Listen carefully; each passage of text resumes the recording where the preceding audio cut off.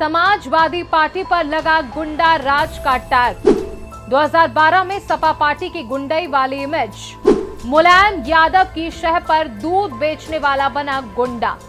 Mafia के कंधे पर बंदूक रख अखिलेश यादव बने हीरो।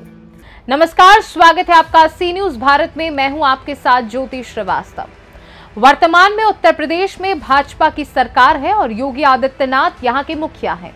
जिनके हाथों में प्रदेश की सुरक्षा व्यवस्था की कमान है, जिसके चलते प्रदेश में गुंडा राज ना के बराबर रह गया है।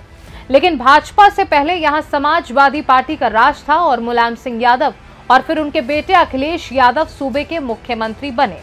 लेकिन सपा के राज में माफिया अपराधी सिर चढ़कर बोलते थे। उनमें ना तो पुलिस का खौफ था और ना ही सरकार का। यही कारण है कि 2012 में सपा की इमेज गुंडाई वाली पार्टी की थी। हालाँकि आज भी इमेज बरकरार है। पर अखिलेश यादव इस इमेज से मुक्त हैं। अखिलेश की मुक्ति शुरू हुई 2012 के टिकट बंटवारे से।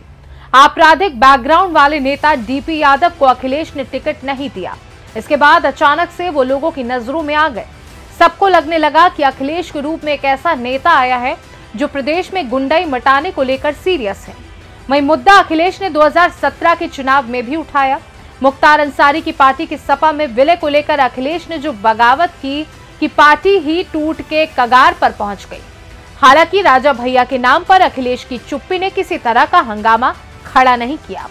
अब आप सोच रहे होंगे कि कौन है ये डीपी यादव जिनको टिकट ना देना अखिलेश का अचीवमेंट बन गया।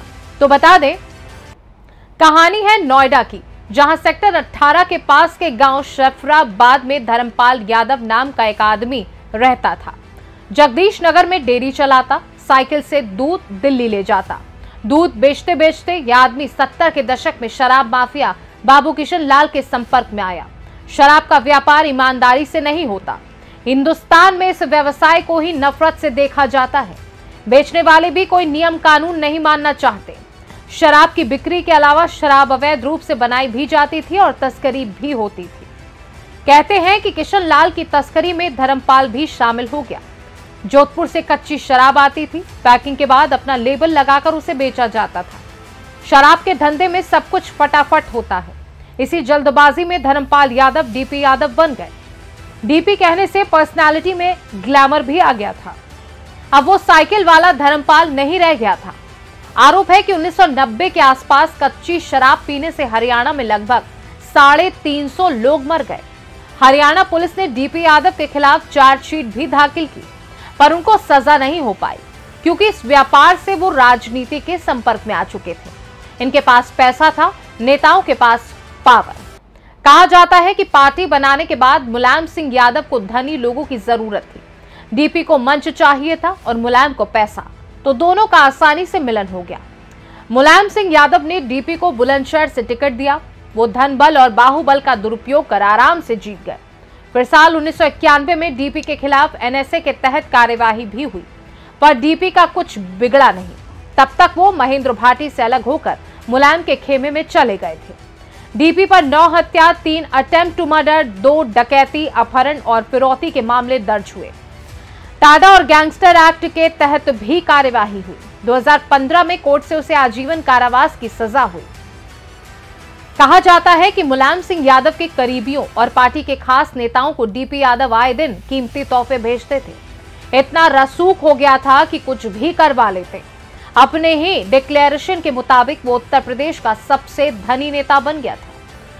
पर उससे मुलायम की छवि ज़्यादा खराब होने लगी। साथ ही पार्टी पर डीपी का प्रभाव बढ़ने लगा।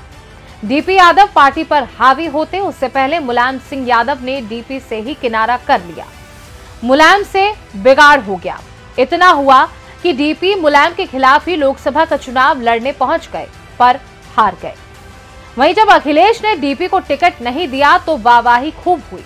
पर डीपी ने सपा को बदायूं में मात दे दी। अखिलेश यादव ने सरकार बनने के बाद पंचायतों की तरफ़ रुख किया। बाद में राजा भैया को लेकर एक बार फिर सपा पर गुंडा राज का टैग लग गया, जो आज भी बरकरार है। फ़िलहाल के लिए इस खास रिपोर्ट में बस इतना ही। देश और दुनिया की बाकी खबरों को जानने के लिए आप देखते रहिए सी न्यूज़ भारत।